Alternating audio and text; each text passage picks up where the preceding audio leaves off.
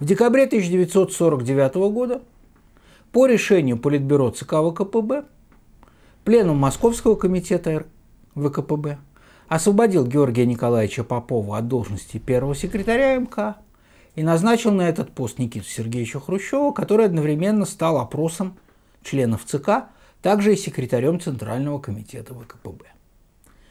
Давайте поглядим, что предшествовало этому назначению, почему Сталин решил поменять московское руководство, вызвать Хрущева из Киева в Москву. После того, как в феврале 1949 года в рамках расследования так называемого ленинградского дела все те, кого впоследствии чеканные сталинские строчки судебного приговора военной коллегии Верховного суда Союза СССР определили как разложившихся людей, пьяниц и воров, крадущих государственное и партийное имущество, так после того, как всех этих пьяниц и воров поснимали с занимаемых должностей – а главного пьяницу и вора, систематически крадущего партийное и государственное имущество, Алексея Кузнецова, сняли с должности секретаря ЦК ВКПБ и вывели из состава Оргбюро ЦК ВКПБ, в секретариате ЦК ведущие роли занимал Георгий Максимiliaнович Маленков. Я не случайно употребил здесь множественное число, поскольку речь шла не только о личной роли Маленкова, но и о том, что в секретариате ЦК на тот момент находились на ответственных постах люди, тесно связанные с Маленковым и двигавшиеся в фарватере его политики. Секретарем ЦК был Михаил Андреевич Суслов. Он курировал деятельность Коминформа, международные связи партии, проблемы международного коммунистического и рабочего движения. Секретарем ЦК был Пантелеймон Кондратьевич Пономаренко, который курировал сельское хозяйство, лесную промышленность, заготовки – и все, что было связано с аграрным сектором. Секретарем ЦК был Георгий Николаевич Попов, возглавлявший Московскую организацию ВКПБ. Московский областной комитет. По тогдашней структуре горком московский не был отдельным формированием, а входил в состав Московского областного комитета. Соответственно, Георгий Николаевич Попов отвечал и за город Москву, и за область. Естественно, Сталин, который всегда опасался, что в аппарате ЦК складываются устойчивые группы лиц, тесно связанных между собой, способных таким образом влиять на дела, был заинтересован в том, чтобы у Маленкова и его людей не было монополии на секретариат ЦК, чтобы у них появился какой-то противовес. В роли этого противовеса он увидел Хрущева – и в общем и целом расчет его теоретически был верен, если не брать, конечно, во внимание то, что Сталин был уже стар, перенес несколько инсультов, состояние здоровья его ухудшалось, и выполнять в полном объеме роль арбитра, как он намечал себе при будущих конфликтах Хрущева с Маленковым и его людьми, он не смог. Плюс ко всему Никита Сергеевич Хрущев проявил в последние сталинские годы огромные навыки интригана, хитреца, человека очень и очень здорово влезшего и разбиравшегося в цыговских интригах, да и просто хорошего манипулятора, чего от него не ждал ни Сталин, ни Маленков, ни Берия, ни кто бы то ни было еще. Что было, то было. Поэтому он его, Сталин, рекомендовал перевести на должность Попова, учитывая то обстоятельство, что сам Попов был груб – ссорился со многими руководителями, проявлял нездоровые амбиции. Например, исходя из того обстоятельства, что министры, в том числе и союзные министры республиканские, сотрудники аппарата ЦК состояли на учете в московской партийной организации, а он был ее руководителем, то он союзных министров вызывал к себе на ковер, давая им разного рода поручения, устраивая разносы. Естественно, все это Сталину нравиться со временем перестало. Попов ушел, Хрущев стал первым секретарем Московского комитета ВКПБ и секретарем ЦК, и сразу же устроил в Москве и Московской области кадровую перетряску. По советской линии, по партийной линии, по комсомольской линии. В конце концов добрался и до хозяйственных руководителей. И здесь его внимание привлекла ситуация на московском автомобильном заводе ЗИЛ имени Лихачева – директором которого как раз и являлся старый большевик, активный участник советского строительства со времен гражданской войны Иван Алексеевич Лихачев. Тот был, безусловно, рабочая кость, отменный организатор, но в сороковые годы уже от сытой, спокойной номенклатурной жизни чуть-чуть подзарос номенклатурным жирком и пустился во все тяжкие. Он э, нашел себе боевую подругу из числа сотрудниц Моссовета, сам тоже был депутатом Моссовета, и фактически завел с ней вторую семью, боясь развестись со своей законной женой Анной Николаевной, которую очень уважал Сталин, и неоднократно говорил, ну, Иван, тебе повезло, такая женщина, тебе до нее в культурном плане еще расти и расти. Поэтому развестись со своей законной женой он боялся, интенсивно жил на два дома – а учитывая то, что к его законной жене Анне Николаевне начал подбивать клини его собственный зять, будущий известный советский писатель Юрий Нагибин, описавший это в своих воспоминаниях «Моя золотая теща», то вся эта интенсивная половая жизнь, все эти разъезды на два дома, все эти любовные треугольники, затем четырехугольники отнимали у Ивана Алексеевича Лихачева массу времени, силы душевного здоровья, и ему было не до конкретного предметного руководства веренным ему государством предприятием. Все дела по заводу он перевалил на своего первого помощника, правую руку Алексея Эйдинова, который, в общем-то, совсем справлялся, но имел пагубную склонность окружать себя родственниками, людьми, которые были ему близки по личному либо этническому принципу. Все это усугубилось хищениями в заводской столовой – хищениями лекарств в заводском здравпункте, в поликлинике, разного рода приписками, левыми деньгами, которые в компании Единого и близких ему людей пропивались, и при этом велись разного рода сомнительные разговоры, выпивали то за победу израильского оружия над арабскими фашистами, то за здоровье Голды Мейер, то рассказывали анекдоты про советскую власть, то просто критиковали те или иные ее мероприятия. Все это были, без сомнения, пьяные базары – которые ни на какой полноценный антисоветский заговор не потянули, но Хрущев начал это дело активно раскручивать. Почему? У Алексея Единова был двоюродный брат Григорий Единов. Известный партийный советский хозяйственный работник, очень близкий к Пантелеймону Кондратьевичу Пономаренко. Когда Пономаренко был первым секретарем ЦК Компартии большевиков Белоруссии, Единов был при нем секретарем по организационно-партийной работе, потом по промышленности. Когда Пономаренко в годы войны возглавлял штаб партизанского движения, Единов был его первым заместителем. Став председателем Совета министров Белорусской ССР, Пономаренко перевел Григория Единова к себе в заместители. И даже уйдя в 1948 году в Москву, в ЦК ВКПБ секретарем, забрал его, устроив Министерство лесного хозяйства на должность заместителя министра по общим вопросам. Тут-то Хрущев и сообразил, что через братьев Единовых если он раскрутит тему сионистского заговора на заводе имени Лихачева, он доберется до своего главного врага Пономаренко. С Пономаренко у него склока была с октября 1939 года, переросшая во взаимную ненависть. После распада панской Польши и освобождения частями рабоче-крестьянской Красной Армии, населенных белорусами и украинцами земель Восточной Польши, после решения народных собраний Западной Украины и Западной Белоруссии о том, что надо вступать в Советский Союз, соответственно, в Украинскую ССР и Белорусскую ССР, надо было проводить государственную границу на западном отрезке между Украиной и Белоруссией. Когда я говорю государство, надо понимать, что это была не государственная граница СССР с западным миром, а формальная линия, поскольку и Белорусская ССР, и Украинская ССР по Советской Конституции были государственными образованиями, между этими двумя участниками Союза СССР для того, чтобы решать административные и хозяйственные вопросы, вопросы подчиненности и прочее. И тут-то Хрущев проявил завидную прыть и завидный аппетит. Потребовав присоединить к, Белору... э, э к Украине белорусские города Брест и Кобрин, потому что там в 1596 году воевал гетман Северин Наливайко во время антипанского восстания. Пинск и все прочее. Все это объяснялось вполне прозаическими хозяйственными соображениями, без всякого Северина Наливайка было понятно, что Хрущеву нужен был белорусский лес.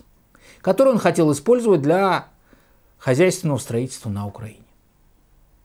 Сталин тоже это прекрасно понимал, но решил сделать ход конем. Вызвал в Кремль двух первых секретарей, соответственно, Хрущева и Пономаренко, и они начали в его присутствии спорить о принадлежности Бреста, Кобрина, других городов. Кончилось это все тем, что Сталин принял сторону Пономаренко и был абсолютно прав. Там было в основном белорусское население, украинцев там не было. Обиженный Хрущев начал клянчить хотя бы Пинск. Это у него тоже не получилось, поскольку выяснилось, что в самом Пинске живут в основном поляки и евреи, а в окрестностях опять же белорусские крестьяне. И граница была проведена очень грамотно между Украинской ССР и Белорусской ССР, но Хрущев на Пономаренко затаил лютую злобу. И вот ему представился шанс уесть, а при хорошем стечении обстоятельств уничтожить своего главного врага. Вызванный в кабинет Хрущева для отчета о сионистском заговоре на веренном ему предприятии Иван Алексеевич Лихачев оживал, ожидал всего чего угодно, прежде всего вопросов о своей половой и семейной жизни, но отнюдь не про то, что он главный сионист Зила. Хрущев, как непрофессионал, повел дело так, что во время допроса, допроса в кавычках, поскольку Хрущев как секретарь ЦК не являлся работником Министерства государственной безопасности либо прокуратуры, каких-то иных следственных органов, не был и членом Верховного суда СССР. Так вот, во время этого допроса в кавычках Хрущев повел дело так, что Иван Алексеевич Лихачева прямо при беседе с Хрущевым разбил инфаркт. Он грохнулся за стула. Пришлось поливать его водой, откачивать и увозить на скорой. Огорченный первой следственной неудачей, Никита Сергеевич поехал на доклад к Сталину. Сталин крайне удивился, сказав, что вот как-то он все может представить, но чтобы Иван Алексеевич Лихачев был первым сионистом города Москвы, это с трудом. Учитывая то, что Лихачев уже лежал в реанимации, Сталин дал команду после излечения снять его с должности и отправить на другой завод масштабом поменьше, а по остальным лицам вести расследование. Расследование завершилось судебными приговорами, включая расстрельные. Впоследствии дело было пересмотрено. Политические обвинения в шпионаже и создании антисоветского сионистского заговора сняты. Обвинения в хозяйственных преступлениях, в хищениях оставлены, поскольку они действительно имели место. Проколовшись на заводе ЗИЛ, Хрущев, однако, не терял бойцовского духа.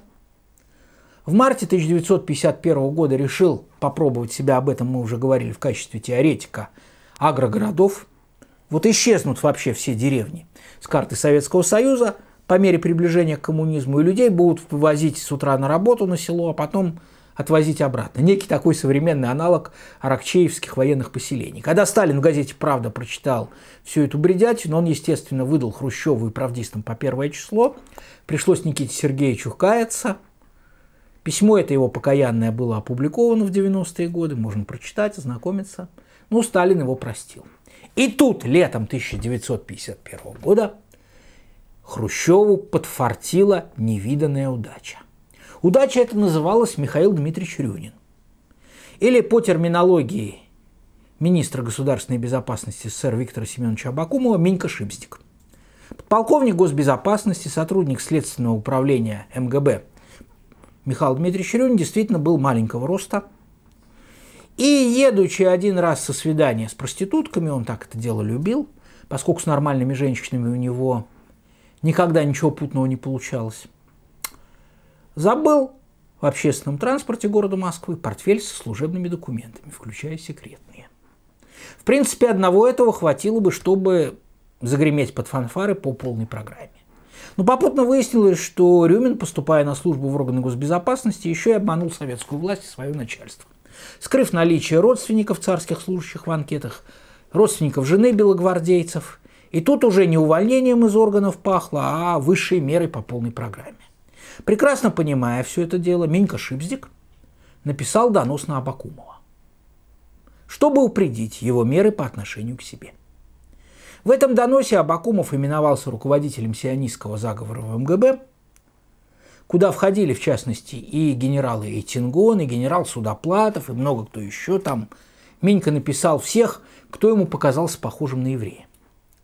Надо сказать, что гражданин Рюмин был видимо, не совсем психически здоров по части борьбы с сионизмом, потому что те бумаги, которые он уже впоследствии в 1953-1954 годах на имя Маленкова писал из тюрьмы, мало того, что были малограмотны, содержали признаки.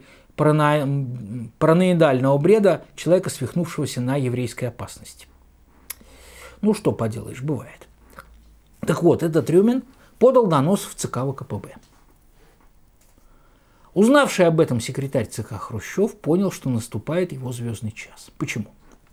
Потому что министр государственной безопасности Абакумов был все послевоенные годы на ножах с Иваном Серовым, первым заместителем министра внутренних дел СССР, до этого многолетним наркомом внутренних дел Украинской ССР, другом-приятелем Хрущева и его родственником. Женаты были на сестрах. Вот этот вот Серов, главный хрущевский человек в органах госбезопасности и внутренних дел, впоследствии первый председатель КГБ СССР, который очень сильно помог Хрущеву и в борьбе с антипартийной группой, и в чистке архивов, откуда при Серове были удалены все компрометирующие Никиту Сергеевича данные, подцапался в 1945 году в освобожденной от гитлеровцев Польши, а затем в оккупированных восточных зонах Германии с сотрудниками СМЕРШа, который тогда возглавлял Абакумов. Подцапался без всякой политики. Люди Серова пили, жрали, воровали, сожительствовали с несовершеннолетними немками, развлекались, так сказать, поисками всякого рода сокровищ из коллекции прусских аристократов, а найдя, например, инкрустированный драгоценными камнями, изготовленный еще в средневековье фалопротез, более известный в среде Объединенной коммунистической партии как Страпон, забавлялись и этими предметами. Все это Абакумову, который был попроще, явно не нравилось.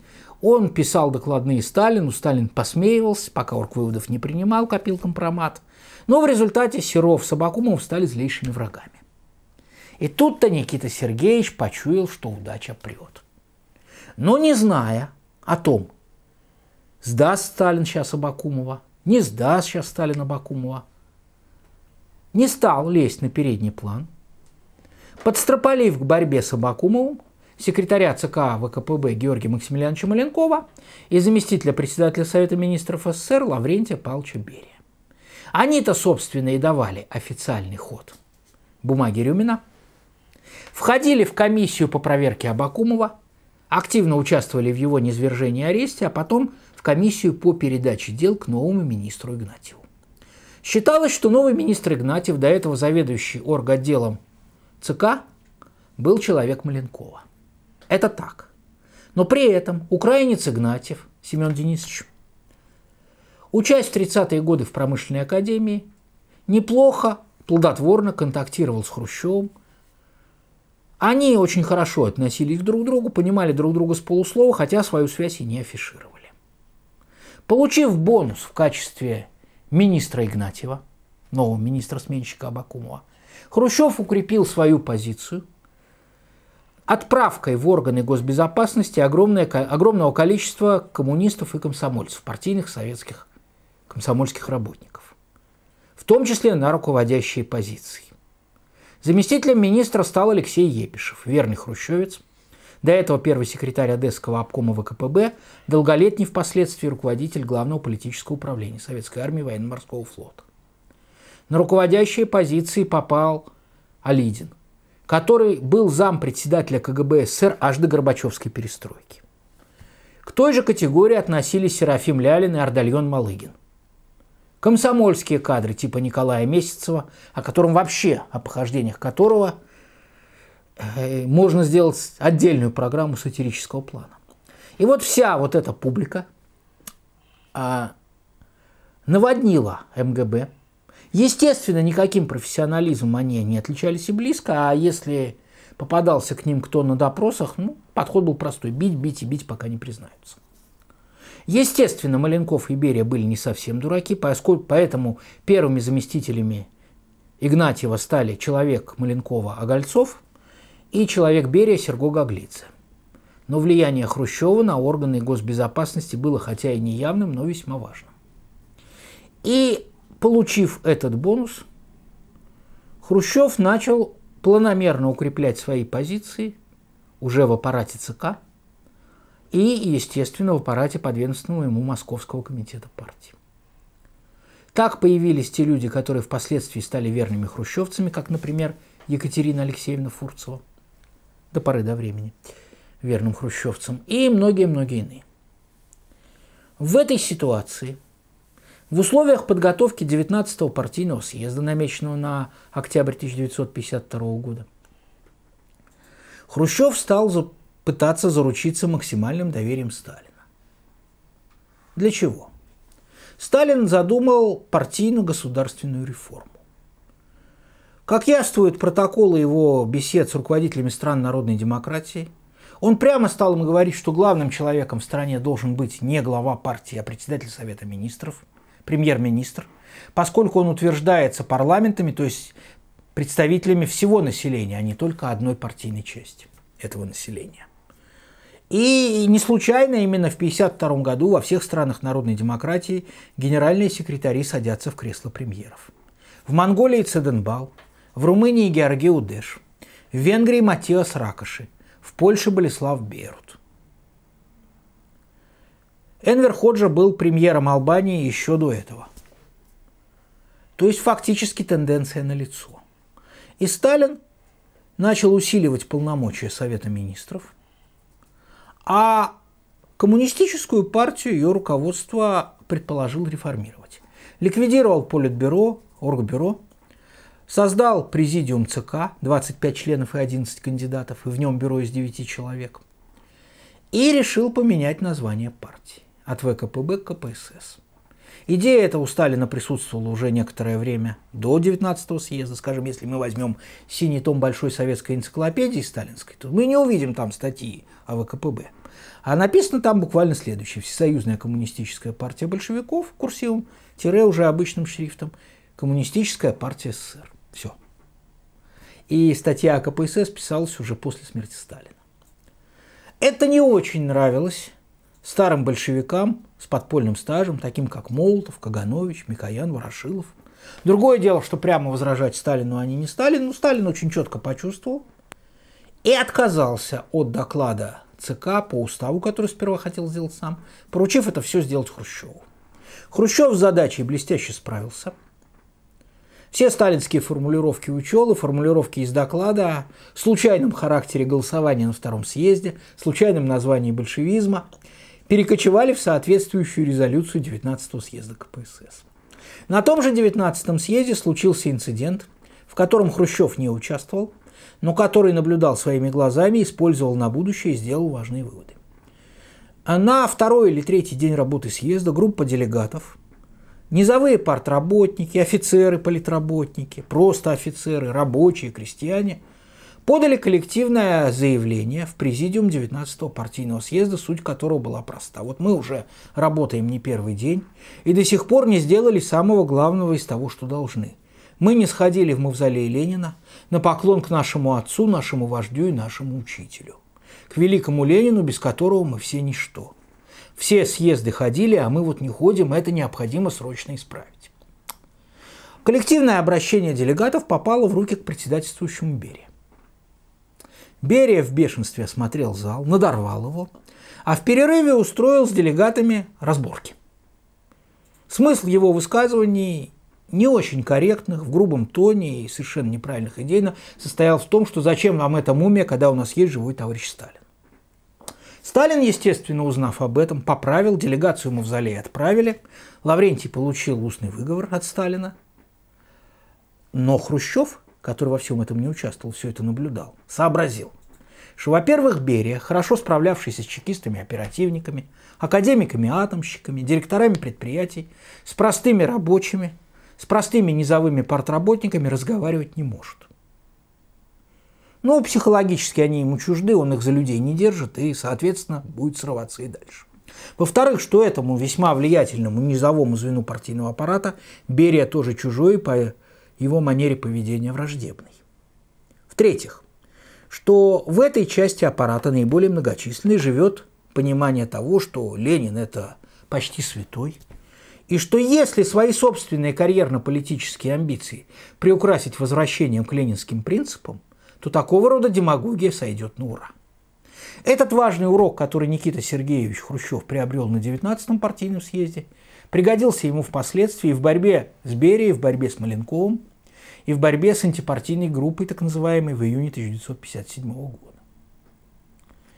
И сразу после съезда Хрущев, переизбранный членом президиума и секретарем ЦК, как очень умный, не побоюсь этого слова, очень хитрый интриган, временно отходит в тень, выдвигая на передний план Маленкова и Берия. Именно они помогают Сталину в его дискуссии с Молотовым и Микояном фактически в разборке. При подготовке постановлений о вредительстве в врачебном деле, в том, что Сталин последние полгода жизни был лишен вообще врачебного присмотра как такового, таблетки не пил, никто его не осматривал фактически. И, разумеется, в дальнейшей раскрутке сионистского заговора в МГБ. Причем сам Хрущев нигде не светится. И к марту 1953 года начинает понимать, что время работает на него. Сталин действительно чувствует себя не очень хорошо. У Сталина есть большие претензии к Берия по поводу взяточничества в Грузии и Менгрельского дела. При этом все ставленники Берия в Грузии уже арестованы, их допрашивают и некоторых пытают. А сам Сталин учит министра госбезопасности Игнатьева, как расследовать дальше. Ищите Большого Менгрела, ищите московские связи арестованных. Маленков и Хрущев под боем, поскольку Сталину в феврале 1953 года перестает нравиться активная антисемитская кампания, а ведут ее ставленники Хрущева, в частности, член президиума и секретарь ЦК Михайлов, заведующий агитационно-пропагандистским отделом ЦК КПСС, тот же Игнатьев, Мельников, первый секретарь ЦК Компартии Украины. И, естественно, Хрущев начинает понимать, что в случае чего он может оказаться и здесь крайним. Плюс ко всему, Сталин слишком активно выдвигает на передовые роли того же Пантелеймона Пономаренко и некоторых других членов президиума ЦК из числа так называемых молодых. Если Пономаренко вдруг окажется наследником Сталина, ну, Хрущеву тогда политически не сдобровать, а то и вовсе угодит под суд. И здесь Никита Сергеевич начинает готовиться. Но очень аккуратно, очень грамотно, как настоящий волчара, который опасается, что его, с одной стороны, медведь, с другой стороны еще более авторитетный волк, с третьей стороны собственная стая сожрут, если он сделает хоть одно движение неправильно. Такая вот хрущевская психология. Я прошу прощения, может быть, за это слишком грубое сравнение, но я думаю, оно правильное. Он затевает интригу вокруг охраны Сталина. Начальник сталинской охраны по совместительству министр, начальник главного управления охраны и министр государственной безопасности Игнатьев – нарывается на критику Сталина, и у него со страха случается настоящий инфаркт. Он вышел из игры. Начальника охраны Сталина на даче Новика, полковника госбезопасности, отправляют на плавную операцию по поводу аппендицита. Сердечным приступом укладывают коменданта Кремля Косы, Косынкина, тоже генерал-майор госбезопасности. Поскребышев по интригам Хрущева руками Берия и Маленкова отстранен на время от особого сектора ЦК. Фактически Сталин остается один против Маленкова, Берии и Хрущева. И здесь происходит знаменитый ужин 1 марта 1953 года, на котором Сталина прекрасное настроение, он шутит, юморит, обсуждает с Хрущевым, Маленковым, Берией и Булганиным государственные вопросы. Все отлично. Потом они уезжают часа в два ночи. Потом Сталин засыпает – и утром 1 марта, это было в ночь 28 февраля на 1 марта, не просыпается вовремя. Обычно он в 12 часов вставал. Вроде зажегся свет, что-то там Сталин прошелся, потом свет выключился, потом такой звук, как будто что-то случилось, как упало. Начальник охраны на операции по аппендициту, начальник главного управления охраны лежит в больнице с инфарктом, что делать охрана не знает. По старой памяти позвонили Берия, многолетнему наркому внутренних дел. Берия, Хрущев, Маленков, Булганин приезжают на дачу. Дальше идет описанная многими свидетелями следующая процедура. Маленков снимает ботинки, чтобы не скрипеть, заходит к Сталину, возвращается в ужасе. Сталин лежит на полу, вокруг него лужа. Первый признак инсульта. Человек потерял сознание и описался. Ну, Булганин, как старый алкоголик, садится и начинает с горя пить. Маленков весь в растерянности. И Никита Сергеевич берет руководство на себя. Ну, как берет? Он подначивает идти к Сталину Берия. Накручивает его, Берия смотрит. Говорит, товарищ Сталин уснул и во сне описался, ничего страшного. Дышит хорошо, перенести его на диван. Охрана переносит. Берия с подачи Хрущева. При этом Хрущев нигде формально не светится. Берия всем командует. Говорит, что врачей вызывать не надо, потому что если товарищ Сталин узнает, что вы его в таком виде увидели, он вас всех разгонит к чертовой матери. Сталин поспит, ему будет хорошо и все нормально и они уезжают с дачи. И первые сутки, когда еще врачи могли бы переломить ход болезни, как-то купировать инсульт, ну, шансы были невелики, но они были. Проходят зазря. 2 марта состояние Сталина ухудшается. Он начинает дышать уже, как дышат больные инсультники. Охрана обеспокоена, второй раз вызывает руководство на дачу. Ну, тут уже ничего не сделаешь, надо вызывать врачей. При этом а, все это обсуждение четверки затягивается Хрущевым, и врачей вызывают не сразу, а лишь через некоторое время. Они приезжают к Сталину фактически под вечер 2 марта. Начинается обследование. Ну и в результате, поскольку врачи не вольны в себе, поскольку они запуганы арестованными врачами, тем фактом ареста врачей, Сталина еще в 1952 году совершенным, то они по каждому вопросу консультируются с президиумом ЦК. В президиуме ЦК тоже Маленков один берется брать на себя ответственность. Консультируется с Берия, там же крутится Хрущев, подает советы и реплики. Процесс лечения замедляется. Пока Сталин не приходит в состояние дыхания Чейн-Стокса, а это фактически означает, что уже все. Шансов на излечение нет и убедившись от врачей в конце дня 4 марта, что вот все не поднимется, товарищи из руководства, которые регулярно к тому же сами заезжают на дачу и устраивают там дежурство, начинают думать о дальнейшем. Хрущев говорит, что надо собирать пленум ЦК для того, чтобы решать вопрос о власти. При этом говорит он это Маленкову и Берии, те дают ему поручение оповещать членов ЦК, членов Президиума Верховного Совета СССР и Совета Министров, а сами уходят наверх на двоих писать состав нового правительства. Хрущев как бы формально ни при чем. Всем заправляют Маленков и Берия. Это на тот случай, если Сталин вдруг чудо случится и очухается и призовет всех к ответу. Тогда можно просто выйти и сказать, ну, товарищ Сталин, ну, не было меня там с ними, они на двоих все, я просто не сообразил, вы уж простите, но я верный вам до конца и доказательств нет, не предъявишь. Пока они составляют список, где Маленков председатель Совета Министров, Берия его первый зам, Хрущев крутится внизу, обрабатывает приезжающих в Москву членов ЦК, ну а затем поднимается доложить о готовности и выторговывает для себя должность ведущего секретаря ЦК на всякий случай. Мотивируя это тем, что вот он как бы только на оргработу претендует. Попутно тут же – меняется состав Президиума Совета Министров. Поскольку Хрущев сообразил, что старые большевики Молотов и Каганович ни Берия, ни Маленкова не любят, а Берия так и вовсе ненавидит, считая его выскочкой и палачом. А Булганин – это вообще хрущевский давний кореш 30-х годов. И он советует для народа не двойку Маленков Берия сделать, не, двойку, не тройку Маленков Берия Хрущев, а сделать более широкий состав узкого руководства. Уж извините за такой термин дословный. Маленков – председатель Совета Министров, первые заместители Берия Булганин, Молотов Каганович. Ну и Хрущев – секретарь ЦК по вопросу. Именно в таком плане днем 5 марта, еще при жизни Сталина, на совместном заседании ЦК КПСС Президиум Верховного Совета и Совета Министров СССР и принимаются соответствующие решения.